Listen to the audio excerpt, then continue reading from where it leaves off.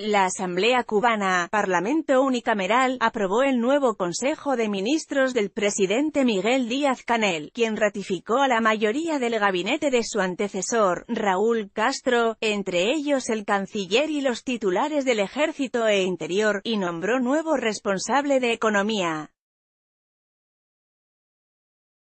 Los parlamentarios acordaron mantener como vicepresidentes del Ejecutivo al comandante de la Revolución Ramiro Valdés, 86 años, al hasta ahora ministro de Economía Ricardo Cabrisas, 81, y a Ulises Rosales, y elevar a ese rango a Inés María Chapman y Roberto Morales, responsables hasta ahora de Recursos Hidráulicos y Salud Pública.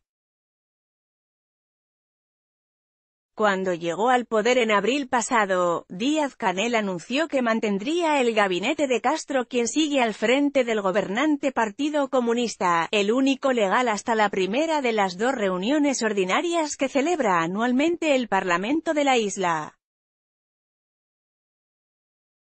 Díaz-Canel, propuesto único candidato para suceder a Raúl Castro Cuba inicia el debate parlamentario para reformar su constitución La Asamblea Nacional de Cuba, Parlamento unicameral, inició tres días de debate sobre el proyecto para actualizar la constitución vigente, 1976, en una sesión plenaria que comenzó con la designación del nuevo Consejo de Ministros del presidente Miguel Díaz-Canel.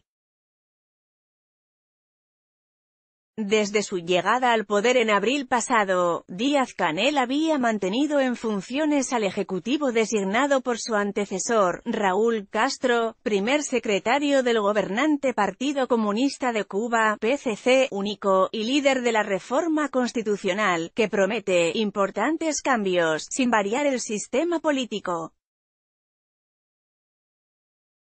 El texto del borrador adelantado por medios oficiales la semana pasada confirma que no habrá cambios en el carácter socialista del sistema político y social en la isla, que mantiene como fuerza dirigente superior al PCC, aunque elimina la palabra comunismo. La nueva Carta Magna pretende instituir la figura del presidente de la República, limitar su mandato a 10 años y propone la creación de un primer ministro que dirigiría el Consejo de Ministros. Cuba retrasa la designación del sucesor de Raúl Castro con información de FRAMG.